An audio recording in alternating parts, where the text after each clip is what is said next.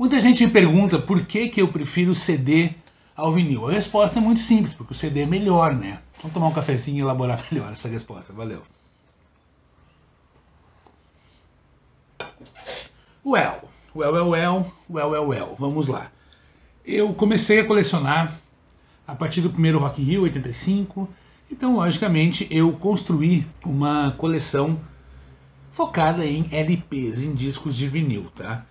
Essa coleção chegou a ter em torno de 2.500 itens, mas eu descobri o CD, eu nunca me lembro se foi em 91 ou 93, tá? Só sei que um dos primeiros álbuns que eu comprei foi o Alegona Goma Way, do Lenny Kravitz, que eu tenho aqui até hoje, já mostrei para vocês. E eu me apaixonei pelo formato do CD desde o início. A qualidade de som para mim sempre soou melhor, tá? Sempre, sempre, sempre, principalmente naquela época. É bom lembrar que as prensagens brasileiras de LP elas nunca foram exemplo de qualidade sonora e tal, com exceções, evidentemente. Tá? A gente está falando do mercado dos anos 80 e 90, não do mercado de hoje, que foi inundado por edições luxuosas em LP, e sim edições porcas, que eram lançadas naquela época, muitas vezes decepadas e tal. Eu me apaixonei pelo CD, pelo formato de áudio, pela, pela qualidade de som que vinha, sempre achei mais prático, sempre achei mais fácil. O LP, por exemplo, hoje em dia, desde sempre na verdade, mas você tem que ter um, fazer um, um investimento grande na aparelhagem para ter realmente uma som, um som legal, entendeu? As maletinhas e esses aparelhos com cara vintage não resolvem sua vida. Você tem que investir em um, um, um toca-disco legal, uma turntable legal, um receiver legal, caixas legal e tal. O CD, esse investimento, ele não é, não demanda tanta grana. Tem o fato também do CD ser mais compacto e ocupar menos espaço. E quando você passa de um número específico de itens, isso acaba começando a se tornar um problema, tá? Hoje aqui em casa são em torno de 2.400 CDs, então tem quatro estantes aqui, mas em LP seria muito mais, mais peso e mais tudo, mas são questões minhas também.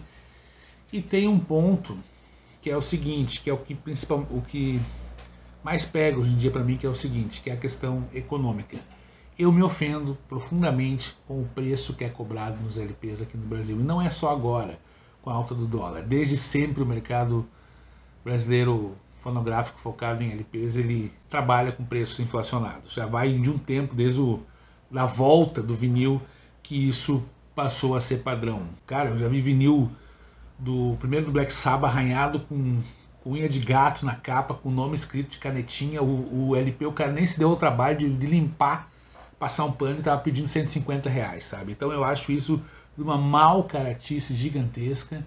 E hoje em dia, com o preço dos LPs, o preço do dólar lá em cima, o preço dos LPs acompanhou. E é difícil, né, cara? 200, 300, 400, 500, 700 reais um LP. Isso é muito fora da realidade de um país cujo, cujo salário mínimo, se não me engano, é 1.200 reais.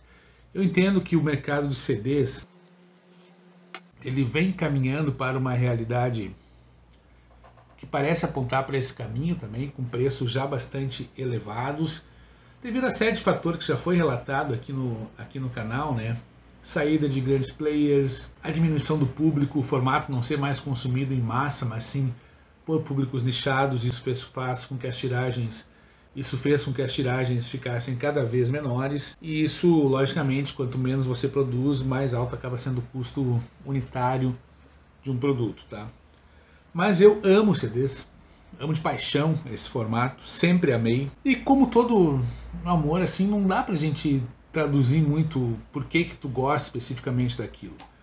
Eu comecei meu dia ouvindo esse disco fantástico aqui do Mick Fleetwood, reuni os amigos aqui, Billy Gibbons, Noel Gallagher, Dave Gilmour, Kirk Hammett, Johnny Lang, John Mayo, Christine McVie, Zack Stark, Pete Townshend, Steven Tyler, Bill Wyman para fazer uma, um tributo ao Peter Green. Cara, eu coloquei ali vai, sabe? Para mim é muito mais confortável, muito mais cômodo. Eu sempre ouvi CDs e desde a primeira vez que eu ouvi CDs eu só ouvi CDs. Cara, há uns quase 10 anos que eu tentei retomar a coleção de, de LPs, tá? aquele boom tal, eu comecei atrás de novos LPs, cheguei a ter uns 200 LPs que eu comprei, Mas era muito caro, cara, muito caro. Eu não gosto do ritual de sentar, virar e tal. O LP ainda você tem que ter um cuidado muito com a mídia. A mídia ela, tem, ela se dá através do contato físico, né? A agulha toca ali, então é muito frágil aquilo ali. Eu acabei me desfazendo de tudo novamente. É claro que cada pessoa tem a sua preferência e pronto, ninguém está aqui para julgar ninguém. Tem gente que gosta de CD, tem gente que gosta de LP, tem gente que gosta de fita cassete, tem gente que gosta de arquivos digitais, não tem problema é que vocês perguntam bastante. Eu até fiquei pensando nisso, mas não sei responder muito bem porque que eu prefiro CDs, só sei que eu prefiro CDs. Tá? Isso até torna Collectors Room uma, uma espécie de ilha no meio do, desses canais de colecionismo, porque grande parte dos canais de colecionismo que a gente vê aí na internet brasileira hoje são focados no colecionismo de LPs e não de CDs, inclusive com alguns menosprezando o CD como se fosse uma mídia menor. E na verdade não é, né, cara? Essa disputa, essa, essa disputa não precisa existir, essa arrogância e superioridade de quem coleciona vinil em relação a quem coleciona CDs é apenas risível, não precisa existir também. Enfim, eu sigo aqui ouvindo meus CDs, ouvindo os meus álbuns, eu adoro esse formato, eu adoro garimpar, eu adoro ir atrás de novos itens. Eu sempre trabalho escutando música todo dia, todo santo dia eu estou ouvindo música, trabalhando, escutando, produzindo conteúdo para vocês. Estou sempre desbravando a minha coleção, redescobrindo novos itens. E essa é uma experiência muito legal e que no meu caso se dá através desse formato que eu gosto tanto, que é o Compact Disc. Tá? Surgiu lá na metade dos anos 1980, chegou no Brasil na virada de 80 para 90 aqui e revolucionou o mercado, tanto que ele praticamente matou o LP nos anos 1990, o LP começou a retornar nos anos 2000 e hoje a gente convive harmonicamente, dá para conviver perfeitamente e de forma harmônica. E muita gente cantava um ou dois anos o fim do CD, na verdade a gente tem que entender que na, na indústria fonográfica tudo é cíclico, tá? Assim como resgataram o LP de uma espécie de limbo, já começaram a resgatar o CD também, uma espécie de limbo. A gente já vê aí matérias falando da volta do CD e tal. Volta não sei da onde, porque daqui de casa ele nunca saiu, né? Enfim, piadinhas à parte. Era isso, cara. Um vídeo mais pessoal, falando da minha relação com o meu formato preferido de música, que é o Compact Disc. Se você gosta de LPs, bem legal, que massa. Eu acho lindas as coleções de LPs, mas não são para mim, tá? Cassetes eu nunca curti, sempre achei um formato com sonoridade muito ruim, mas tem gente que gosta, enfim.